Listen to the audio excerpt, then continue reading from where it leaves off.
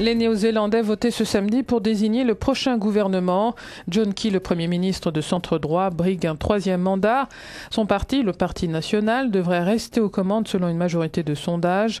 Environ 3 millions de Néo-Zélandais ont été appelés à voter.